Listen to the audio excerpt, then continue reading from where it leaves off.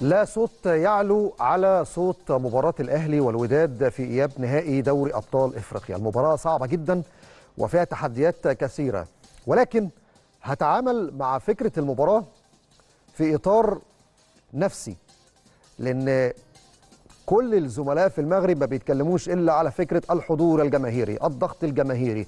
المباراة ستلعب بحضور جماهيري كبير جماهير الوداد ملوك المدرجات سيكون لهم الكلمة العليا في التأثير النفسي على الفريق المنافس. أي يقصدوا الحديث عن فريق النادي الأهلي طرف المباراة النهائية لدوري أبطال إفريقيا. ولكن يبدو أن الجميع نسى أن الأهلي من خلال الفوز بعشر بطولات إفريقية نجح في اقتناص خمس بطولات من خارج مصر.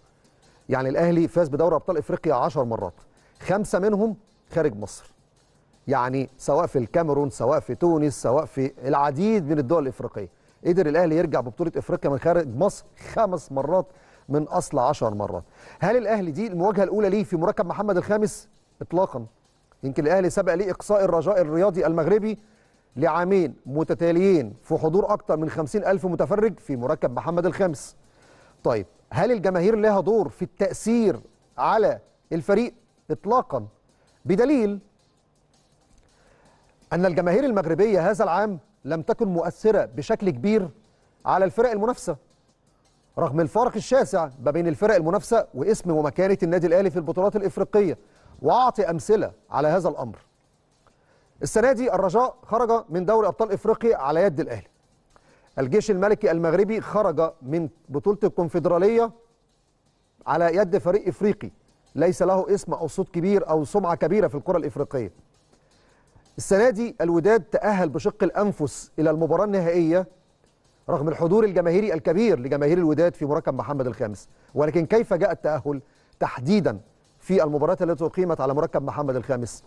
عندما واجه الوداد سيمبا كان الوداد يعني بيسعى للفوز بهدفين مقابل لا شيء لضمان التأهل دون اللجوء لركلات الجزاء الترجيحية. ولكن لم ينجح الوداد سواء في إحراز هدف وحيد بشق الأنفس على فريق سيمبا مع فارق المستوى ما بين سيمبا والأهلي.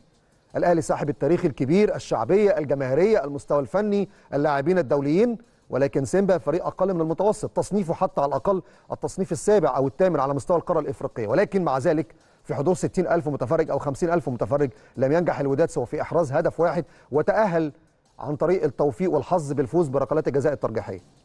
في مباراة ال semi final أمام سان داونز حضور جماهيري كبير أيضا ضغط كبير أيضا ولكن لم ينجح الوداد في إحراز ولو هدف واحد. خرجت المباراة بالتعادل السلبي بل كان الأقرب للفوز في مركب محمد الخامس فريق سان داونز.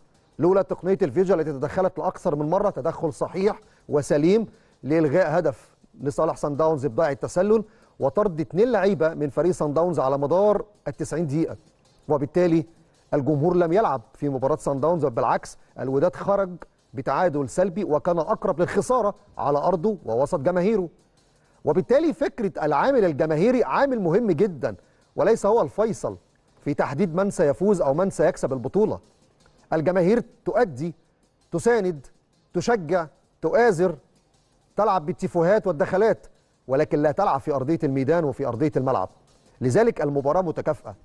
المباراة بين الأهلي والوداد. الأهلي متقدم فائز في القاهرة بهدفين مقابل لا هدف مقابل هدف سافر إلى المغرب وفي جعبته هدف.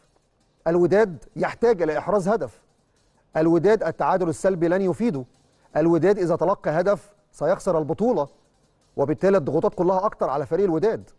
يجب على الإعلام بشكل عام أن يتعامل بشكل واقعي مع الفريق المنافس للوداد في هذه البطولة. وفكرة الحديث بشكل كبير جدا على الجماهير من خلال متابعتنا هذا الموسم لم تكن مؤثرة بشكل كبير في حسم من سيتأهل. بدليل أن الوداد عندما لعب خارج أرضه تحديدا في بريتوريا بدون جماهيره استطاع أن يتعادل إيجابيا مع سان داونز في بريتوريا. وبالتالي في وسط الجماهير الجنوب إفريقية التي تحمس وتؤازر وفي ملاعبها الصعبة نجح الوداد في التعادل. وبالتالي سينجح الأهلي بإذن الله في تحقيق نتيجة إيجابية وإحنا عندنا ثقة وتفاؤل كبير جدا إن الأهلي مش هيلعب بس على إنه يتعادل ويكسب البطولة. الأهلي ذهب للمكسب. الأهلي ذهب من أجل الفوز.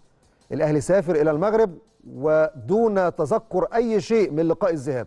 الأهلي يلعب مباراة واحدة هي المباراة الفاصلة من 90 دقيقة. يكسب يفوز بالبطولة. ويتعادل يفوز بالبطولة. وبالتالي أنت عندك أكتر من نقطة تقدر تميل إلى كفة النادي الأهلي للفوز بدوري أبطال